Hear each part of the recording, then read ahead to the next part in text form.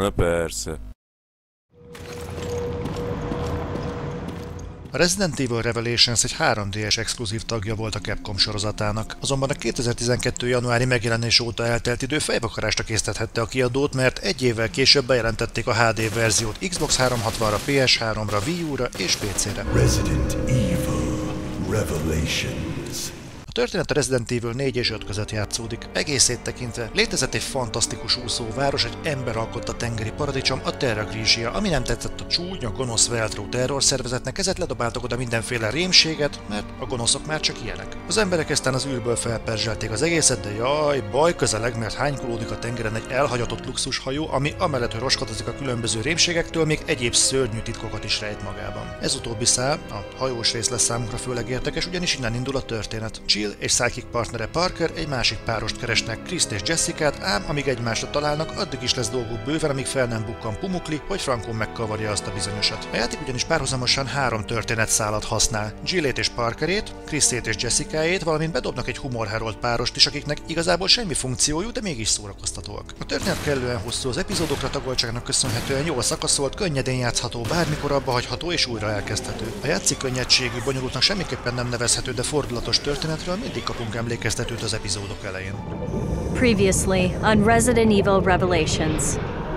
A játékmenet igazából a szokásos baltával faragott darabos, labirintus jellegű Resident Evil, ami mindig is volt. A három történeti szál és az abból fakadó hat karakter okán a környezet is viszonylag változatos, szóval nem csak hajó leszünk. Egyébként sem mondanám, hogy Revelationsben plastikusan éreznénk a tengerjáró millióit, a folyosókon bolyongva ebből jószerivel semmi nem fog átjönni. Viszont fogunk tudni úszni, ami meglepő újítás szerintem erre Resident Evilben még nem volt példa, de a rajongók kiavítanak, ha mégis. A játék során egyszerre három fegyver lehet nálunk, a többit az itt-ott felelhető ládákba pakolja a rendszer, de mindegyik fejleszt fejleszthető a pályaszerte elszórt upgrade-ekkel. Szedhetünk fel töltényeket, cserepes növényeket, meg mindenféle céleszközt, aminek egyetlen célja, hogy a játék megállás nélkül ingáztasson minket a pálya két ellentétes, sokszor egymástól egyre távolodó pontja között, hol muszájból, hol opcionálisan.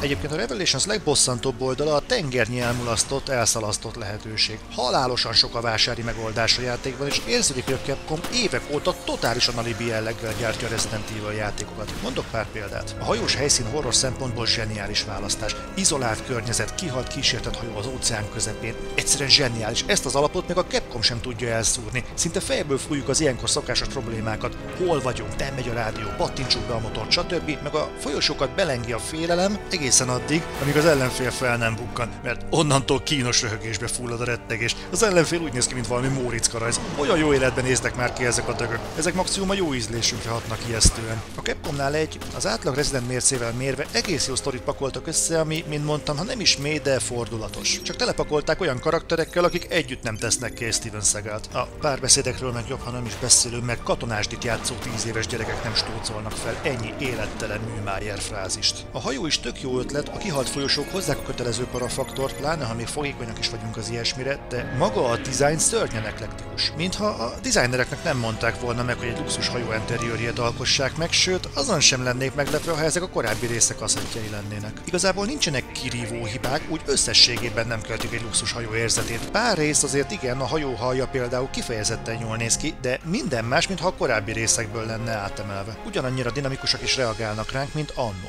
Semennyire. Ráadásul annyira célterületekre van felosztva a hajó, hogy hiába járjuk be keresztül kasul, csak felmerül az emberben idővel, hogy például a hálókörletek és kabinok hol vannak. A legbosszantóbb mégis az, hogy a Resident Evil ugyanarra épít, amire évek óta folyamatosan. Dobálja ránk az ellenfeleket, akiket jól le kell lőni, miközben puzzle címben olyan feladványokkal rukkol elő, ami egy tengeri malac értelmi szintjét is sérteni, a még nagyobb ellenfelekre meg még nagyobb fegyverekkel kell lőni, vagy 10-15 percig fogócskázni velük keresztül kasul a pályán, ami külön szórakoztató, ugyanis nincs futása játékban, csak ez az öreges kocogásféle. Ha már szóba került a puzzle, kapunk ilyen áramkörös dugdosós puzzle is, aminél a kezdeti nehézség kimerül abban, hogy semmi kapaszkodót nem kapunk a megfejtéshez. A vicc az, hogy úgy tűnhet, mintha nem tetszene a Revelations, pedig nem ez a helyzet. Egyszerűen bosszant. Bosszant, mert ezzel a lehetőséggel sokkal több is lehetne a játékban. A téma indokolná. Egyszerűen a Capcomon nem látszik, hogy különösebben meg akarná erőltetni magát ezen a téren. Sablon hősök, sablon ellenfelek, sablon játékmenet, sablon bosszok, klisék, klisék hátán, ami legtöbbször jól, de sajnos van, hogy egyáltalán nem teszi a dolgát. Technikailag sincs a helyzet magaslatán a játék. Ilyen-olyan ürügyel, de három percenként biztos kapunk egy izmos töltőképernyőt, ha másképpen nem egy élére állított szerencsekerék formájában, tuti. Van még itt egy raid mód, ami lényegében a single playerből kispórolt co mód. Split screenben véletlenül sem működik, úgyhogy kár is a gőzért. A raid egy pontvadászattal egybekötött mód, az egyébként epizódokat kapjuk meg, elég komoly nehezítéssel. Van benne szóló mód is, de nyilván ez már párban az igazi. Megyünk előre, lőjük az ellent, akik eltérő helyen, eltérő számban, sőt eltérő méretben bukkannak fel. Kulcsokat meg más hülyeségeket gyűjtögetünk, hogy a fejezet végén a korongot szétcsapva teljesítsük a küldetést. Végül kapunk sok-sok pontot, oldunk ki új fegyvereket, új külsőt, meg hasonlókat. Egyébként meglepően szórakoztató, csak kár, hogy normális partner nélkül sokat veszít az egyébkénti varázsából.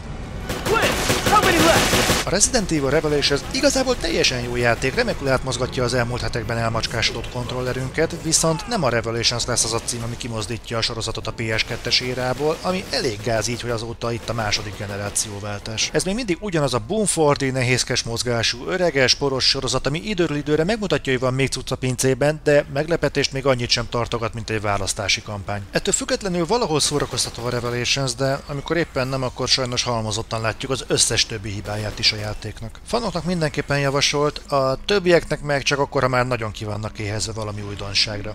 Sziasztok!